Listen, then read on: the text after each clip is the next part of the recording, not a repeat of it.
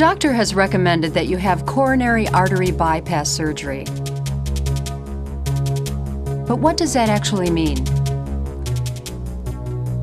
Your heart is located in the center of your chest. It is surrounded by your rib cage and protected by your breastbone. Your heart's job is to keep blood continually circulating throughout your body. The vessels that supply the body with oxygen-rich blood are called arteries. The vessels that return blood to the heart are called veins. Like any other muscle in the body, the heart depends on a steady supply of oxygen-rich blood. The arteries that carry this blood supply to the heart muscle are called coronary arteries. Sometimes these blood vessels can narrow or become blocked by deposits of fat, cholesterol, and other substances collectively known as plaque. Over time, plaque deposits can narrow the vessels so much that normal blood flow is restricted. In some cases, the coronary artery becomes so narrow that the heart muscle itself is in danger. Coronary bypass surgery attempts to correct this serious problem. In order to restore normal blood flow, the surgeon removes a portion of the blood vessel from the patient's leg or chest, most probably the left internal mammary artery and the saphenous vein. Your doctor uses one or both of these vessels to bypass the old diseased coronary artery and to build a new pathway for blood to reach the heart muscle. These transplanted vessels are called grafts, and depending on your condition, your doctor may need to perform more than one coronary artery bypass graft. Of course, operating on the heart is a complex and delicate process. And in the case of bypass surgery, your doctor will most likely need to stop your heart before installing the graft.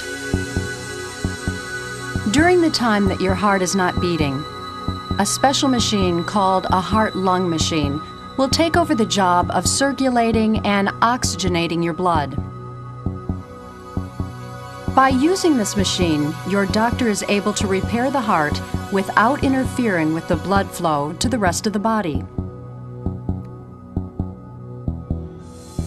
Following surgery, your heart will be restarted and you will be disconnected from the heart-lung machine.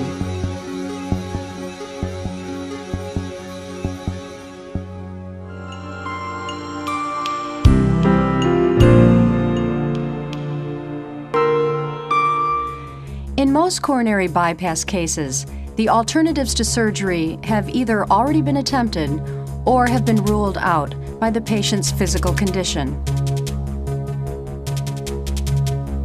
There are many less invasive methods of increasing blood flow through the diseased coronary arteries, including drugs, balloon angioplasty, and stent insertion. All of these methods attempt to reopen coronary arteries without having to resort to major heart surgery. Most likely, your doctor has recommended this procedure because he or she believes that in this case, surgery is in your best interest. Should you decide not to have surgery, the consequences can be severe. If the condition of your coronary arteries continues to worsen, you will almost certainly face increased fatigue, chest pain, and even a heart attack leading to death. While it is true that a coronary bypass is major surgery, don't make a decision to ignore your doctor's recommendations simply out of anxiety or fear. Make sure to discuss all of your options with your doctor. Don't be afraid to share all of your concerns. And above all, don't hesitate to ask questions.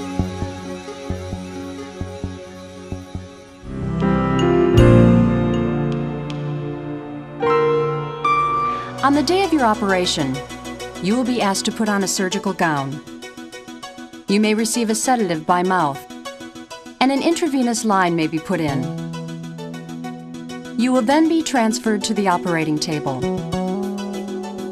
In the operating room, the anesthesiologist will begin to administer anesthesia, most probably general anesthesia, by injection and inhalation mask.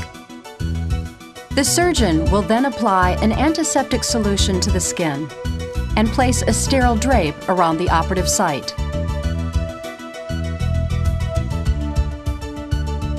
One or more sections of blood vessel will be taken from the leg, thigh, or chest wall, and the incision at those points will be sutured and bandaged.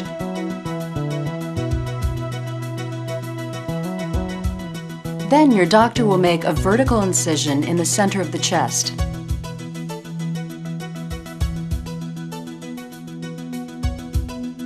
Skin and other tissue will be pulled back in order to expose the breastbone.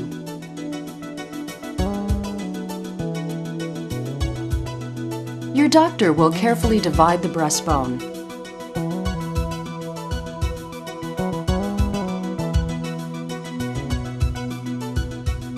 And a special instrument called a retractor will be used to hold the chest open.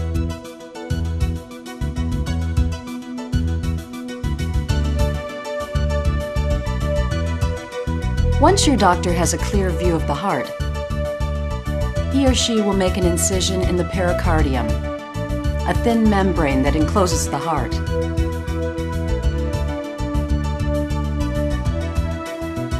Pulling the pericardium back will reveal the beating heart. Before the graft vessel or vessels can be attached, a heart-lung machine must be connected. A heart-lung machine takes over the job of circulating and oxygenating the blood so that your doctor will be free to stop your heart for the length of the operation. To connect the heart-lung machine, one tube is placed into the aorta and a second tube is placed into the right atrium of the heart.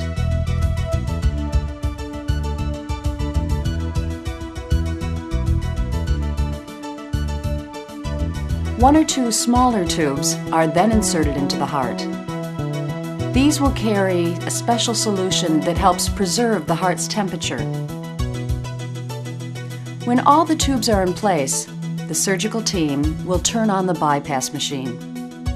It will begin to circulate the blood as the heart cools. As the cooled blood circulates through the heart, the heart muscle also cools causing the heart to beat at a slower pace.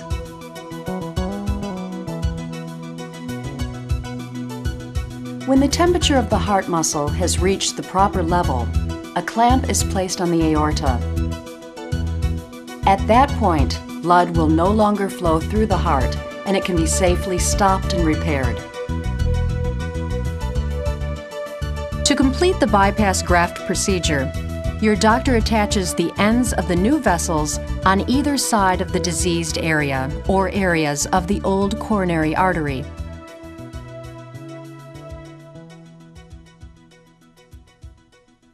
Once the grafts have been completed, the clamp on the aorta is removed, and the heart is allowed to begin beating again.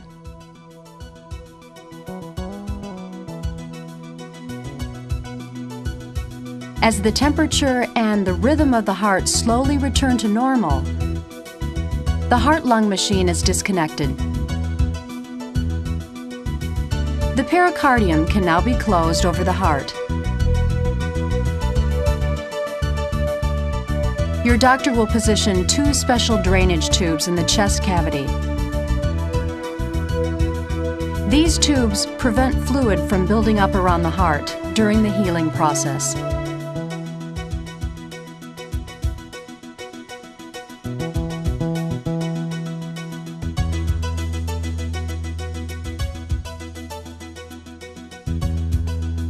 The breastbone is then closed with metal wire.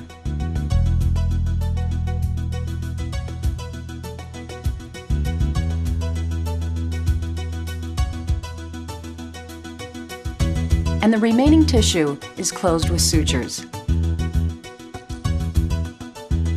Finally, a sterile bandage is applied.